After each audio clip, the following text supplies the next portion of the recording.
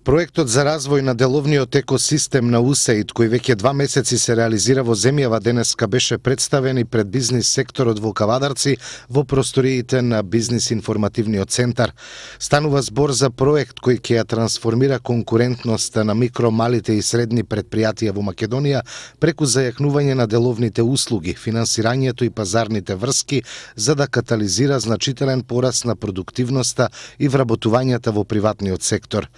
Со овој проект, како што истакна директорката на проектот Миријана Македонска, ќе се создадат 5750 нови работни места, а просечната годишна стапка на раст за микро, мали и средни предпријатија е планирана на 15%, а се планира и раст на нивните приходи.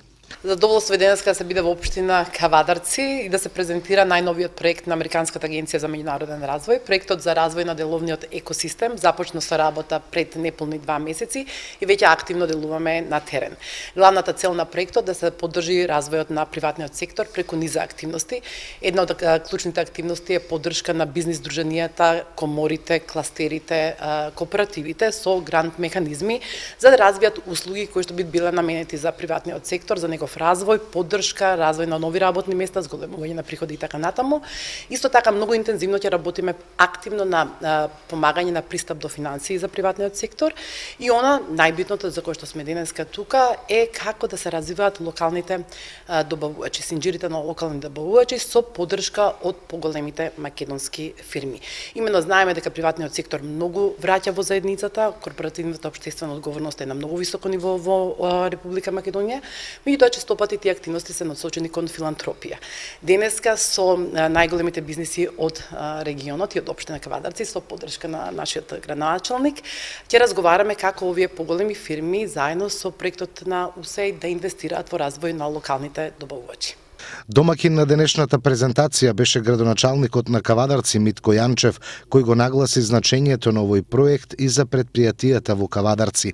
Кавадарци економски развиен град, има доста компании од големи ка обемна големина, средни и мали.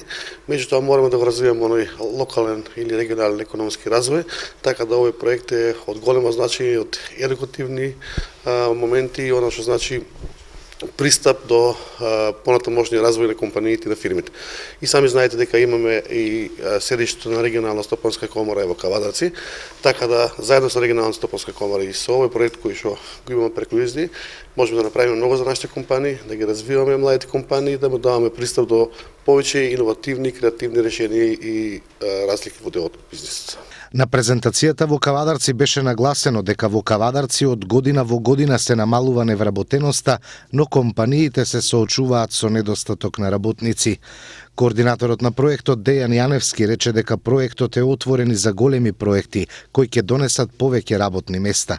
Овој четиригодишен проект кој ќе се реализира во земјава е со активности фокусирани на зајакнување на организациите за бизнис, поддршка, помагање на приватните предпријатија во пристапување пристапувањето до финансии, развивање на бизнис врски меѓу компаниите за потикнување на иницијативи за зголемување на продуктивноста и повеќе вработување. Компаниите во наредниот период можат да аплицираат со своите идеи и проекти до УСАИД, а оние компании кои ќе бидат поддржани ќе имаат можност да учествуваат и во националната кампања за зголемување на свеста на приватниот сектор за активностите кои придонесуваат за развој на локалната економија. Проектите ќе се кофинансираат по принципот 50-50.